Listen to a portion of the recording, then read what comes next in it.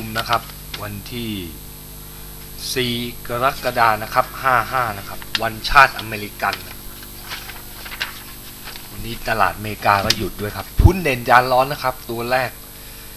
แจ๊สนะครับ ก็ปรับรายได้เข้าสู่ธุรกิจบอร์ดแบนมากขึ้นนะครับกำไรขั้นต้นดีขึ้นนะครับ ราคาตรงนี้ก็ยังไม่แพงเท่าไหร่เทรดบน P15 เท่ากว่าเทียบกับ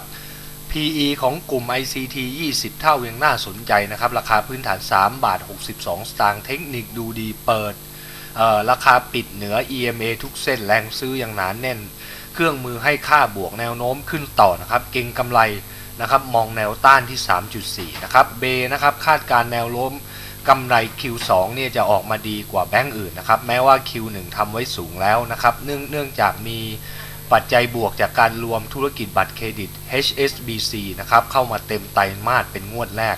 เทคนิคระยะกลางยังดีนะครับ ระยะสั้นได้เวลาพักนะครับพอปิดไปทางต่ำนะครับ เครื่องมือบางตัวเริ่ม overbought นะครับ น่าจะขายไปก่อนนะครับ แล้วมารับใหม่นะครับ แนะนำระยะสั้นเนี่ยทยอยขายนะครับไปออมองไว้นะครับที่แนวต้านที่ 31.50 รับที่ 29.50 นะครับแอดวานนะครับกำไร Q2 จะอ่อนตัวนะครับ Q on Q จากปัจจัยฤดูกาลแต่คิดว่าจะปรับลดน้อยลงกว่าอดีต เพราะปีนี้เนี่ยในช่วงนี้มีรายได้จากข้อมูลนะครับ Data ที่ขยายตัวสูงแล้วเรายังอยู่ระหว่างปรับราคาพื้นฐานขึ้นนะครับ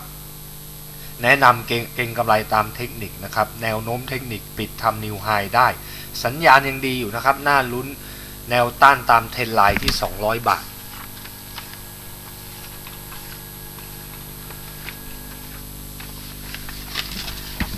แบงก์ทหารไทยนะครับ คาดกำไร Q2 เพิ่มขึ้น 21% Q on Q จากสำรองที่ลดลงนะครับ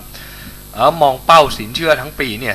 15%รวมถึงเป้า NPL ที่ 4.4%ยังมีความท้าทายอยู่นะครับ คือไอ้เป้า NPL นี่ดูแล้วอาจจะอาจจะมีสูงกว่านี้นะครับ แม้ว่ามุมมองการฟื้นตัวนะครับ ยังคงมุมมองการฟื้นตัวผลประกอบการอยู่แนะนำซื้อราคาพื้นฐานอยู่ 1 บาท 92 สตางค์มั่นคงนะครับก็ยังเป็นหุ้นที่ ยอดจอง Q2 เนี่ยบอกว่าเรื่อยๆนะครับ ก็ไม่ได้ดีมากจาก Q1 ดูทั้งปีแล้วเนี่ยครึ่งหลังอาจจะต้องทำเยอะหน่อยนะครับ เพราะว่าครึ่งแรกนี่ยังไม่ถึง 50%ของเป้ายอดจองแนวราบนะครับ เราคิดว่า Q2 นี่อาจจะเป็นงบที่ ไม่ค่อยดีเท่าไหร่ เพราะยอดโอนเนี่ยเข้าน้อยมากนะครับ เพราะฉะนั้นเนี่ยดูเรื่องผลประกอบการก็ยังไม่ค่อยดีเท่าไหร่นะครับ ต้องไปลุ้นในครึ่งปีหลัง ยอดจองก็ต้องไปลุ้นครึ่งปีหลังราคาหุ้นเนี่ยก็ไม่ได้สูงอะไรมากนะครับ ยังมียิวที่พอจะหวังได้นะครับ เพราะฉะนั้นแนะนำถืออยู่ในตัวเฮมเคนะครับ ตัวเฮมมาล่านเมื่อวานไปคอมพานีวิสิตนะครับก็ไม่ค่อยจะมีอะไรใหม่นะครับ ยอดอยอดขายที่ดินครึ่งแรกเนี่ยได้มาละเก้า ประมาณ 1,400 ไร่ แต่ทั้งปีนี้เขายังมอง 2,000 ไร่นะครับ ก็ดูแล้ว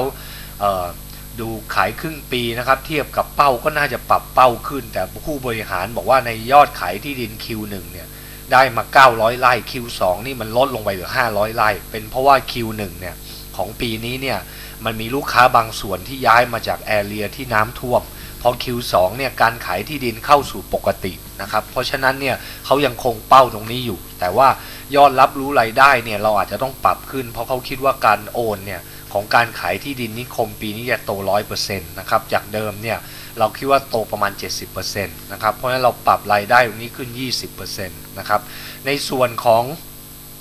ธุรกิจโรงไฟฟ้าเอ่อ Q2 นะครับ คือธุรกิจโรงไฟฟ้าเคโกวันเนี่ย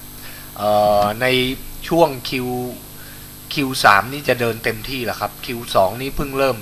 ที่จะเดินนะครับ แต่ว่าในส่วนของส่วนได้เสียจากเคโกวันเนี่ยใน Q1 สูงมากนะครับ เพราะว่ามาจากการได้ส่วนชดเชยจากผู้รับเหมาที่ก่อสร้างงานชะล่าช้าเนี่ยครับ เพราะฉะนั้นใน Q2 นี่มันไม่มีส่วนนี้ แล้วก็จะมีขาดทุนจากอัตราแลกเปลี่ยนเพราะเคโกวันเนี่ย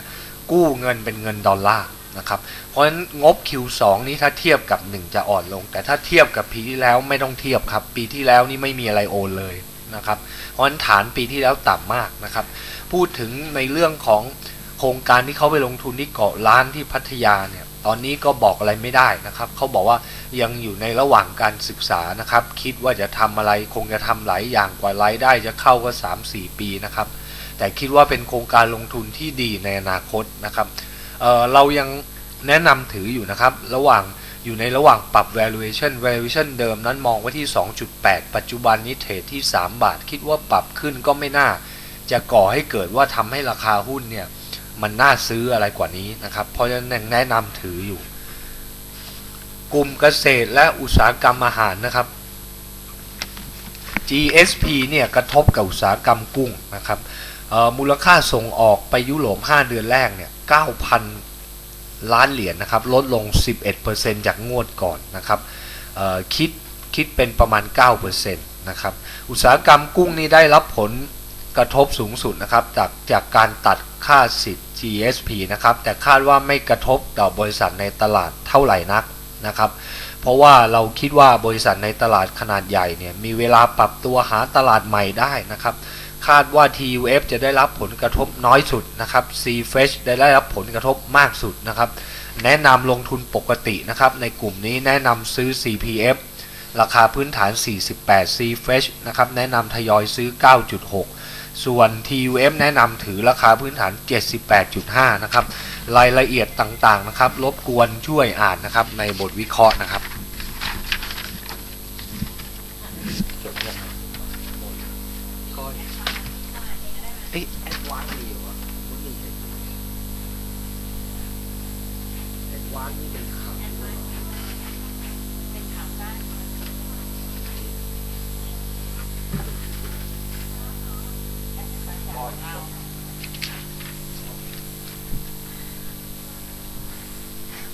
ก็เป็นตัว preview ของตัว a d v a n นะคะ ก็คาดกำไรสุทธิของไตรมาส2เนี่ยก็น่าจะออกมาอ่อนตัวลง Q on Q นะคะ แต่ว่าอย่างไรก็ตามเนี่ยถือว่าอ่อนตัวลงค่อนข้างน้อยนะคะ แทบไม่ได้รับผลกระทบจาก low season นะคะ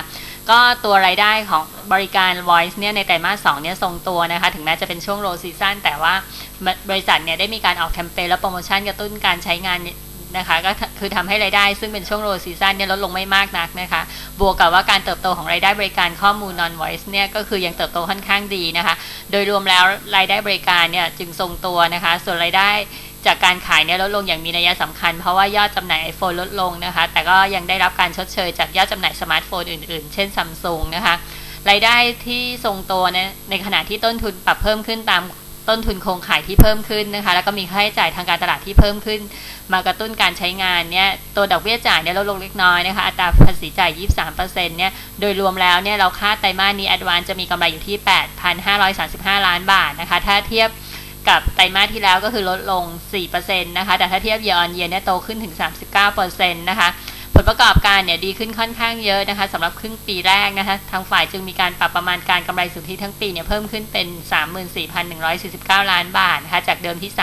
32,600นะคะแล้วก็ราคาพื้นฐานเนี่ยปรับเพิ่มขึ้นเป็น 200 บาทต่อหุ้นนะคะจากเดิมที่ 186 บาทค่ะก็ตัวต่อมานะคะก็บางจากนะคะที่มีข่าวไฟไหม้เช้านี้นะคะ ก็เหตุเกิดไฟไหม้ตรงนี้เนี่ยก็ข่าวที่ออกมาเนี่ยเราประเมิน รวบรวมแล้วประเมินแล้วเนี่ยก็มองว่าไม่ได้เกิดในจุดที่เป็นหน่วยการสำคัญนะคะ แล้วก็แต่ว่าน่าจะเป็นในส่วนของท่อส่งน้ำมัน ซึ่งบริษัทได้มีการปิดระบบนะไม่ให้น้ำมันไหลเข้าไปเพิ่มเติมแล้วนะคะ ซึ่งในเบื้องต้นเนี่ยก็คือไฟไม่ได้ลุกลามไปนะคะ แล้วก็อยู่ในภาวะที่ควบคุมได้แล้วนะคะ ส่วนที่เกิดเหตุเนี่ยก็คือเป็นส่วนของแยกน้ำห่อแยกน้ำมันกานะคะ ซึ่งตรงนี้มันก็เลยทำให้ตัวปริมาณควันเนี่ยมันดำแล้วมันค่อนข้างเยอะมากนะคะ ก็ตรงนี้เนี่ย ตัวโรงกันเนี่ยก็คืออยู่ระหว่าง